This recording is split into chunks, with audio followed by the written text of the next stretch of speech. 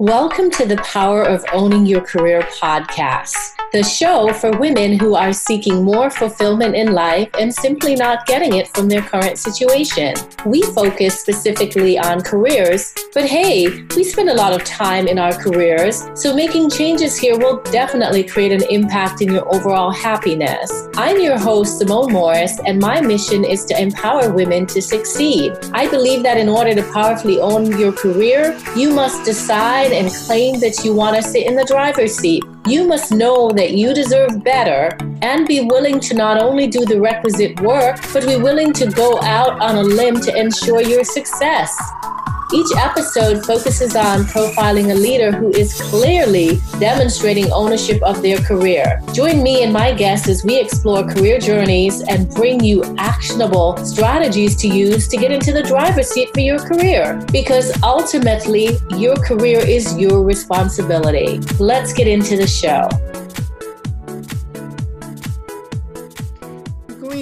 Power of Owning Your Career listeners. I'm so thrilled that you're back this week again for another exciting episode.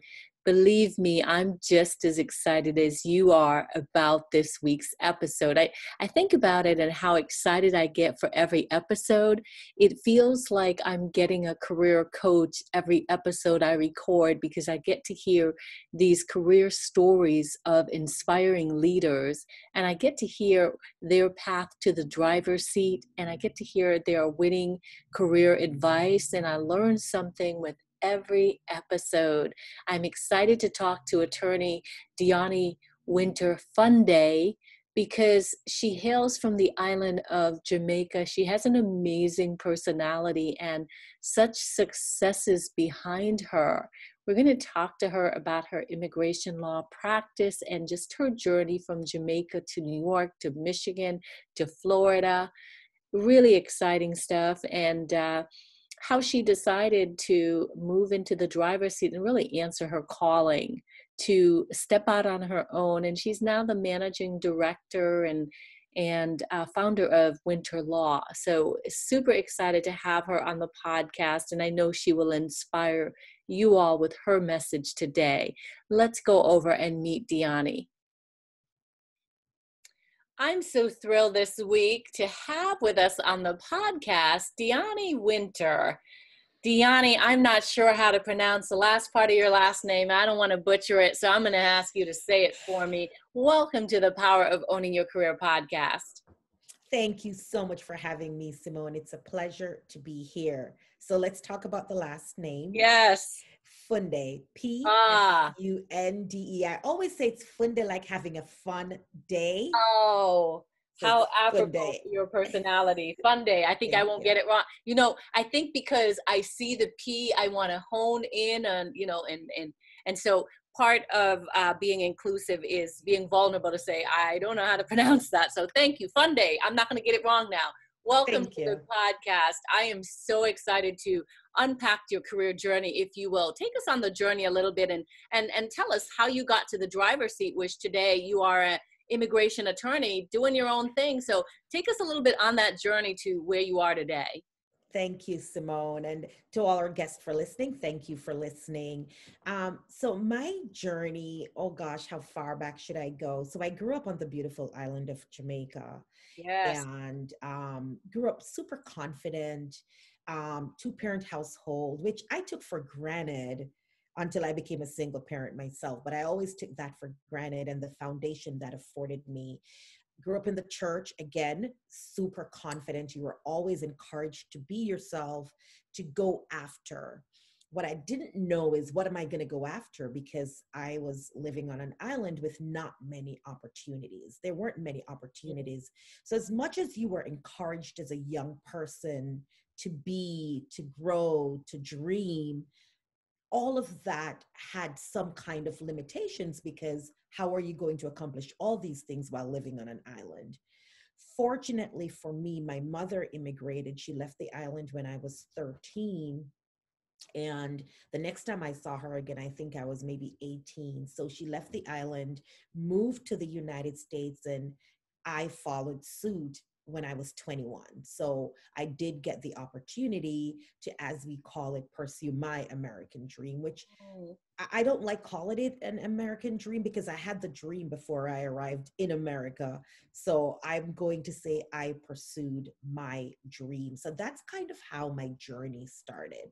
Mm, I want to connect I, I can connect here because I am from Jamaica as well. I was born in the beautiful island of Jamaica, and I migrated to the United States when um, I was in fifth grade. So my mom, and it's funny, I didn't know this about you. My mom left as well, and there was a uh, let's see, six year difference. She went ahead and and sort of uh, sowed seeds and, and, and created the opportunity to bring my sisters and I along to the United States. So I definitely can connect to what you're saying. And I've always wondered what would my journey be like if I remained in Jamaica. But I did have that viewpoint of the American dream or uh, more possibilities, right? Uh, as they say back in Jamaica, they, you know, they think money grows on trees in America, but it's just a, it just was a very different uh, upbringing. So I appreciate you bringing that to the forefront. So let's talk about getting to do your own thing because you know I'm sure when you came to the U.S., you uh, possibly you had to. Um, work for other firms and, and find your way to being an entrepreneur and having your own successful firm. So, what was that like for you? So, so I always say to people, entrepreneurship is very Jamaican, very Caribbean.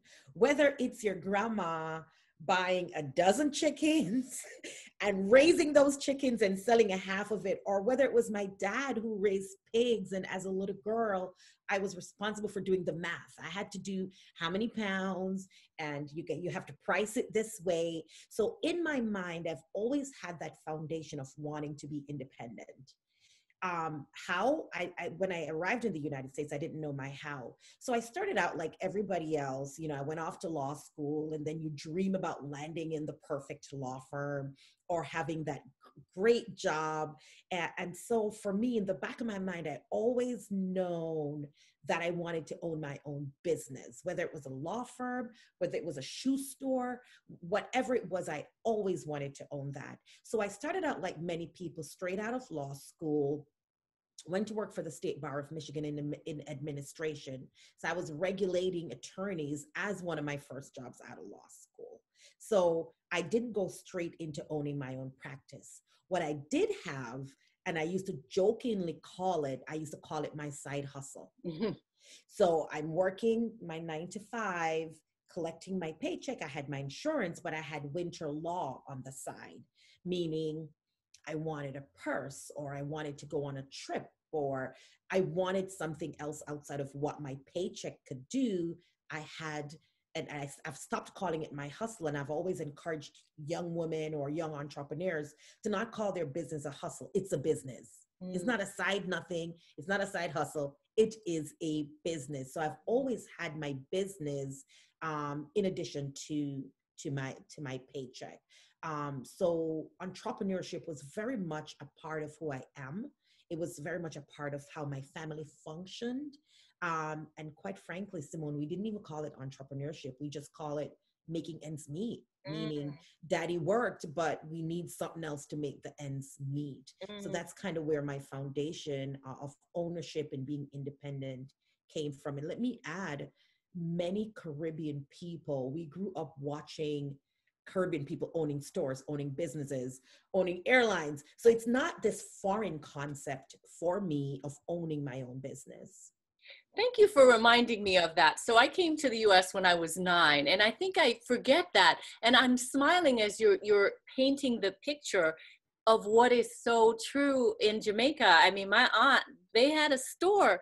They still have a store and they're managing the thing. But, you know, sometimes you. when you get into the crux, if you will, of entrepreneurship with the challenges of it, you forget that foundation. And so thank you for reminding me of that foundation.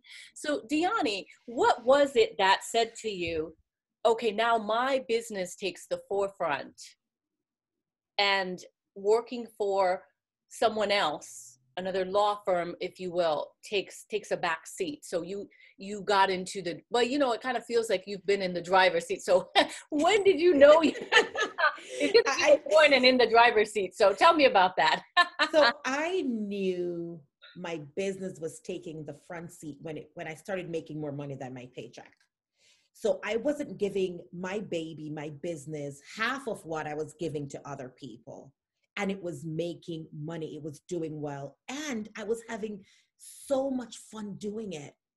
So I had a blast running my business from the side.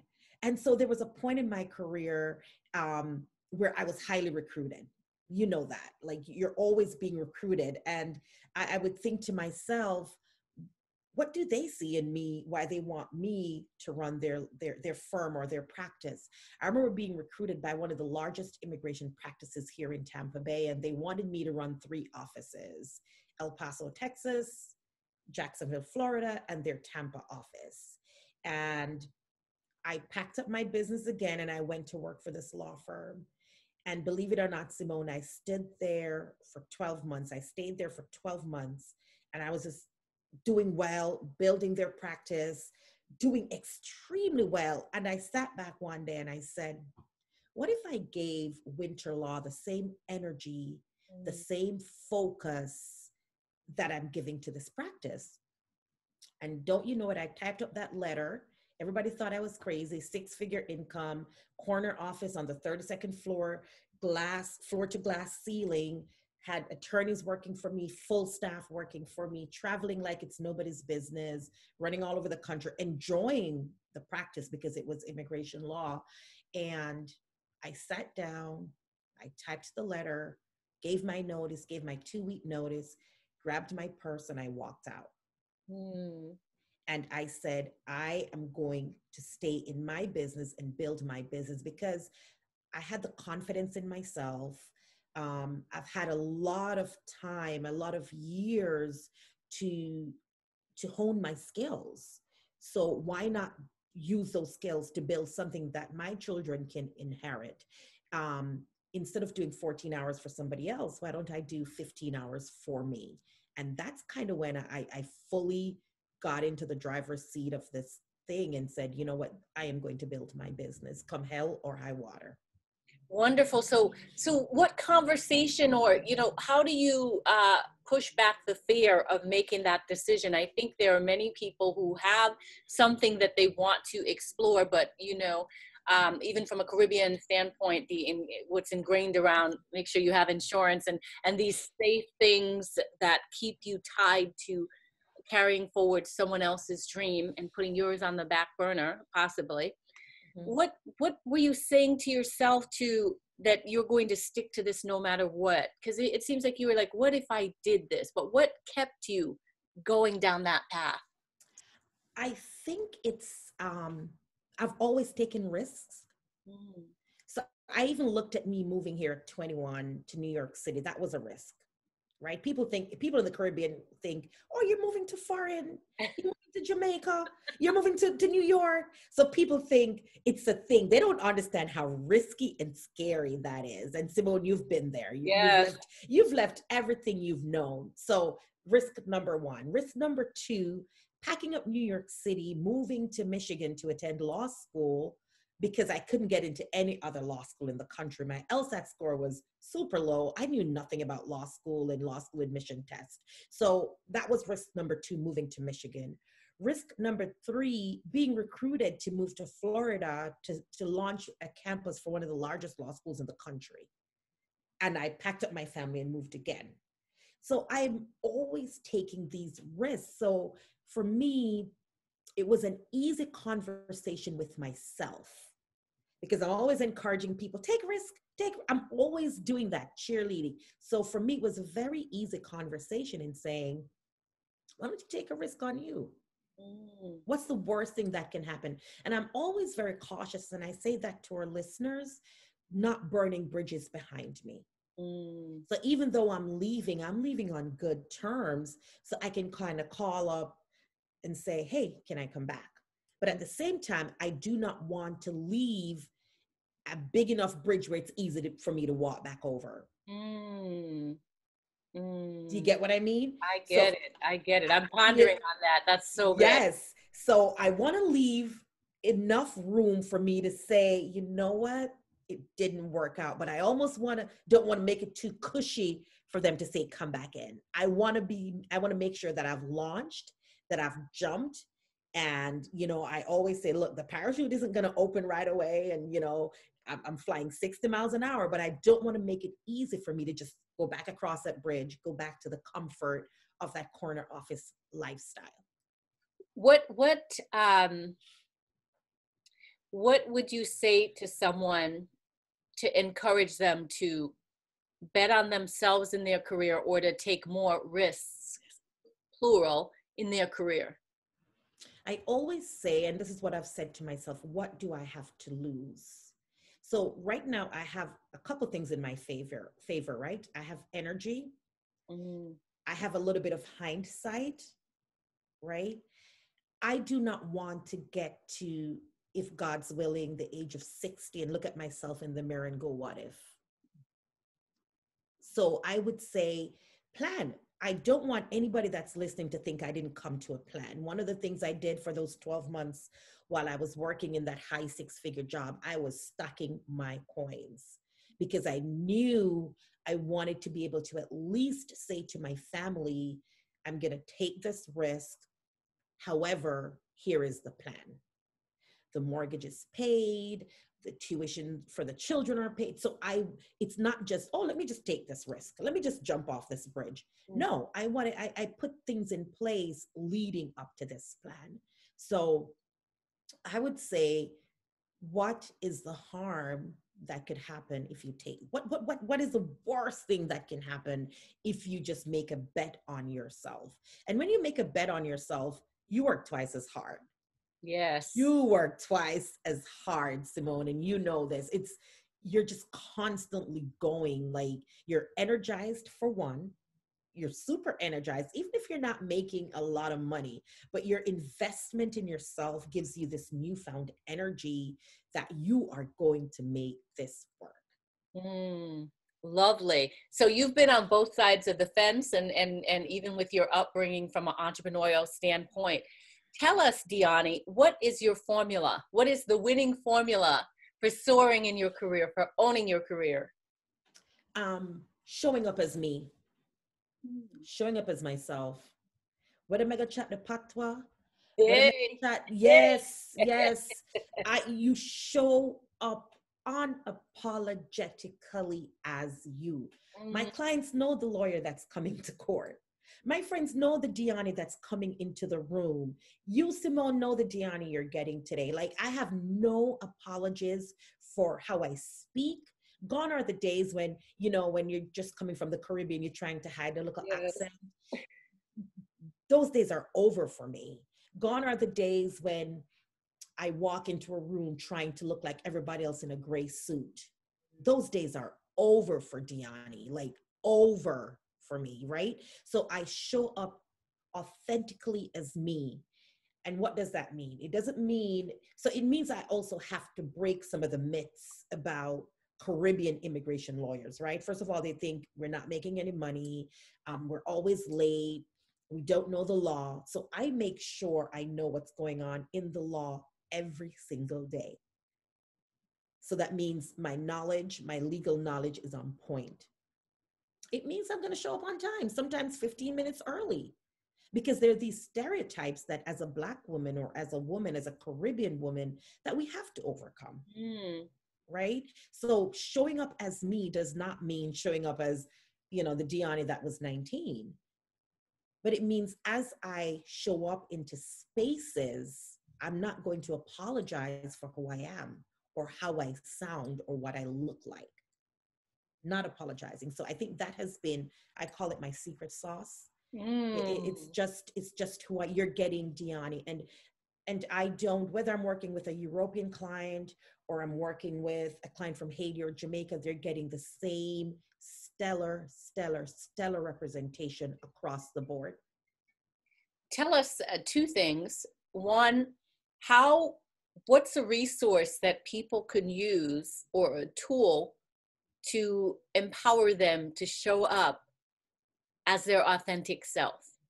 Um, so this goes back to investing in you. So I've invested in, in branding coaches.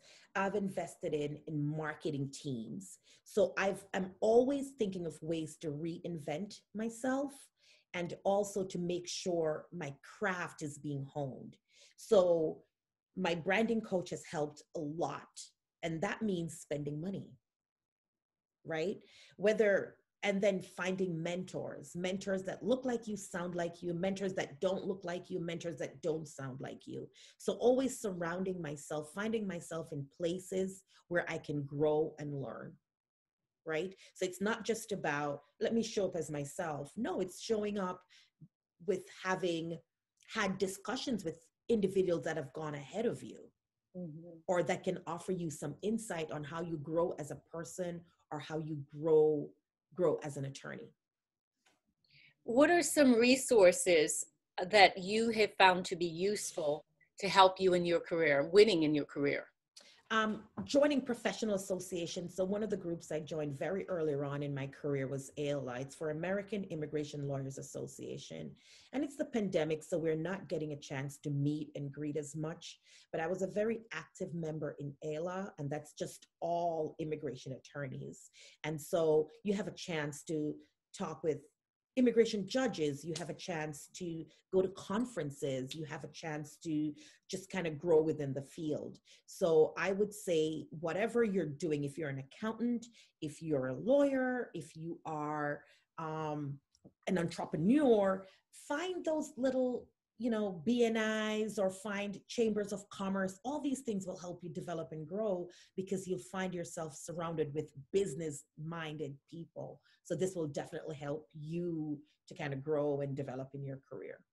Is there a book that that comes to mind that's really inspired you in your career as well? Yes, I was looking for my book, Brand You. Mm. Brand You by Dr. Hume Johnson. I read on that. the podcast. We yes. had a fabulous, fabulous episode. You're kidding me with no, Dr. Hume Johnson? So good. So Dr. Hume Johnson is my branding coach. I've been working with her since 2000, maybe an 18, 2018. So, and that's what I mean about investing in yourself. So, two books I would recommend. The one um, by Dr. Hume Johnson. Number two, Think and Grow Rich by Napoleon Hill. Mm. So those two books I go, but and then I also read The Alchemist. Um, I love that book by Paulo Coelho. So those three, but my top, top, top, top pick is Brand You by with with Dr. Hume Johnson. I think that is just for one, she's Caribbean. For two, her journey, what she's gone through, and all that is so like compelling right? So those are um, three resources that I would say for that young entrepreneur, that young business person, that individual that just wants to take their first risk. I would recommend one of those three books. Wonderful. And listeners, I want to tell you that I have interviewed Dr. Hume or Hume Johnson, and let me say it is a fabulous interview about her journey. I believe she talked about Australia or New Zealand, like she's ha- moving from Jamaica. It's a wonderful interview. So make a note after this episode to go and listen to that episode. I believe it's last season, but it, it's a wonderful interview as well. Wonderful. I love that. I love connecting the dots on the podcast. So you also talked about, Dionnie, um, you invest in yourself daily. Uh, in terms of your legal knowledge, talk to us about what that's like and what you do. Okay, so I make so I have morning routine um, and I keep my morning routine probably 70% of the time. I'm going to be honest, it's yeah. not 100% of the time. So, the first thing I do in the morning is I read. So, I subscribe to like Docketwise, I subscribe to Immigration Bulletin. So, the first thing I do is I just look what comes out. If it's a case law, if it's um, policy that has been changed, I go to uscis.gov that deals with all things immigration, and I just kind of scan because sometimes I have clients that are waiting in the wings for laws to change or policies to change. So I invest in me by reading through gaining knowledge so that I am becoming a better attorney. And Simone, I'm 15 years in. So you would say, why do you need to still? Yeah, I still need to keep my skills sharp. So I read each morning on all things immigration. And sometimes I switch over to all things business because I think that's one of the things with entrepreneurs. Even though I'm a lawyer, I have a business, I have staff that needs to get paid. So I have to make sure both are intact. So as part of my morning routine, I look at the legal aspects, what ha- if anything has changed. I also look at my business from, you know, like an eagle eye. Where are we last year, last month, this time, last year, this time financially? What are the numbers looking like? Right. And that helps me say, okay, I need to either reach out to more clients, step up our marketing, find out what's going on with some call, make some calls, things of that sort. So that's kind of how I get through my mornings and then I'll start working. Most times I'm up by 5:30 or 6. Um, start out with a little morning walk and then come back and, and get the day going. Wonderful. Well, this certainly has been an interview filled with so many career gems. I have enjoyed talking to you and learning and connecting from a Jamaican, big up, big up, a big Jamaican up. standpoint. Um, are there any parting words that you have to our listeners on um, career advice, etc.? Um, I think my, my career advice is, and, and it's always been, um, believe in yourself and your abilities I know we're getting into a magical time when we have, or we're about to have, I would say, a woman of color in the White House. You and I have never had that, right? So we've had our magical moments, but it's getting more magical for young women, for women of color. We're having all these phenomenal, phenomenal, phenomenal, um, you know, individuals doing well. So I would say just have the confidence in yourself. Once you have the confidence in yourself, people will notice. People notice. People want to hire the attorney that is confident. I do not want to hire an attorney or a, anyone to handle my business if I have a feeling that they're a little bit unsure of themselves. So I would say the mo even if you're unemployed, even if you're unemployed and you're going to be interviewed for a job, walk into that job, walk into that space with confidence in your abilities and the confidence in yourself. And I think that's what kind of sets me apart. I'm always super confident in my abilities. Even Simone, when I go into court and I'm panicking like a little duck, you know, the the feet are like this under the water. Um, I would say have the confidence in yourself and your abilities. Wonderful. Well, tell our listeners if they'd like to stay connected with you, how they can do so.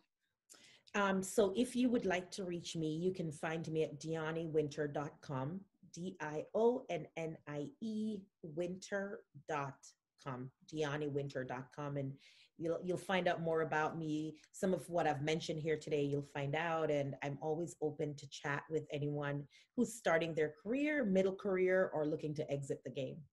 Nice, wonderful. And Dionnie, as I understand it, you're leaving us with a wonderful treat for our listeners. So be sure to listen to this episode fully, and instructions are coming on how you can get a special treat courtesy of Dionnie. Dionnie, thank you so much for being a guest on the Power of Owning Your Career podcast. Thank you so much. And thank you for having me, Simone. Wonderful, wonderful, awesome. Thank you for listening to the Power of Owning Your Career podcast. It is my hope that you enjoyed today's episode. You can check out the show notes for this episode on the SimoneMorrisEnterprises.org website by clicking the podcast menu. Be sure to subscribe on iTunes and tell a friend or two about it.